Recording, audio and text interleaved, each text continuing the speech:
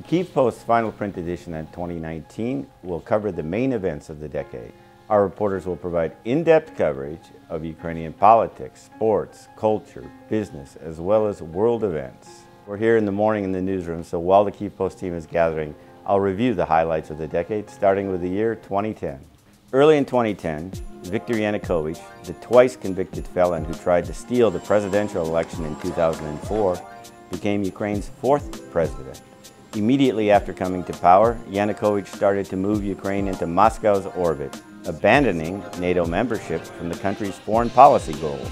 In 2011, Yulia Tymoshenko, the country's top opposition leader and the prime minister in the previous government, was jailed for seven years on charges of abusing her power. Tymoshenko insisted the trial was politically motivated. In 2012, Ukraine co-hosted the European Football Championship with Poland. Tens of thousands of international football fans came to Kiev, Lviv, Kharkiv, and Donetsk. In November 2013, the massive public demonstrations known as the Euromaidan started. Hundreds of thousands of protesters demanded that Yanukovych turn away from the Kremlin and sign a landmark agreement with the European Union. Yanukovych said no. From the onset of 2014, the protests in Kiev intensified, and in February, security forces cracked down, killing more than 100 demonstrators. The following day, Yanukovych fled the country. In response to the Euromaidan, Russia invaded Crimea and started a war in eastern Ukraine that by now has killed nearly 14,000 people. By 2015, Russia's war against Ukraine was well underway. The battles for Debaltseve, a critical transport hub, saw some of the fiercest fighting. 110 Ukrainian soldiers were killed in just one month.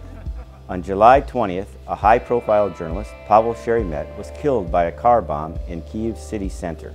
Sheremet was an executive editor at Ukrainska Pravda and also worked as a radio host. After several rounds of negotiations, the EU finally approved visa-free travel for Ukrainians in 2017. In the two years since then, almost 3 million Ukrainians have traveled visa-free to the European Union. Russian Coast Guard ships attacked three Ukrainian Navy boats in the Kerch Strait, connecting the Black and Azov Sea. The three boats and 23 Ukrainian sailors, six of them injured, were taken to Russia. In 2019, comedian Volodymyr Zelensky won a landslide victory in the presidential election, beating incumbent Petro Poroshenko. Zelensky promised to make peace in Ukraine.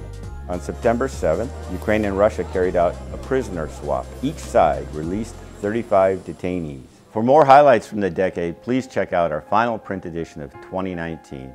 And do also please subscribe to us at KyivPost.com. On behalf of the entire Kyiv Post team, we wish you a very Merry Christmas and Happy New Year.